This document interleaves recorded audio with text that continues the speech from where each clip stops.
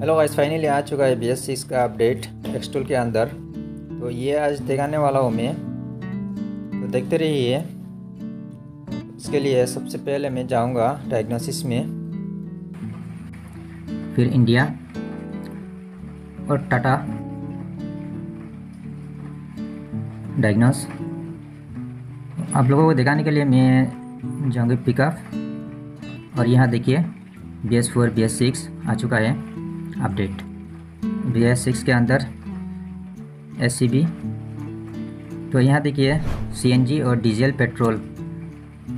तो पहले डीजल में देखते हैं। डीजल में देखिए ए सी गोल्ड, सात सौ सी का इंजन है और A C एंट्रा one point five L और एंट्रा B ten mega A C आठ सौ सी का और विंजर ये सब का काम कर सकते हैं हम। एस सेवेंटी प्रो से। उसके बाद पेट्रोल में जाएँगे। देखिए A C iris automatic scan करके काम कर सकते हैं। सीएनजी में भी काम कर सकते हैं A C C N automatic scan करके।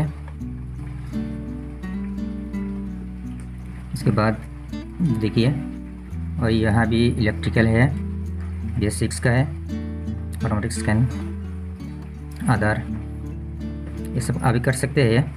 पहले तो बी एस फोर का ही था अभी एस सिक्स आ चुका है। कुछ दिन पहले आया है ये ये अपडेट पहले देना चाहिए था मेरे को, कुछ काम था इसलिए मैं ये अपडेट दे नहीं सका तो उसके बाद देखिए नेक्स्ट जोन में भी B S four B S six है।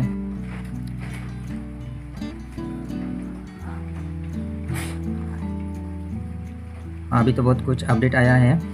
मैं भी कुछ कुछ काम कर चुका हूँ। थोड़ा बहुत काम किया, काम तो हो जाता है, लेकिन सब काम नहीं किया अभी तक। जिस जिस बाइक काम किया है बी सिक्स के अंदर तो कमेंट में बताना ज़रूर। और जिस जिस बाइक है बी सेवेंटी प्रो में अपडेट नहीं आया है तो अभी अपडेट कर देना। इसके अंदर अपडेट आ चुका है। तो अपडेट करने के लिए आपको तो पता ही होगा और फिर भी मैं एक बार दिखा देता हूँ।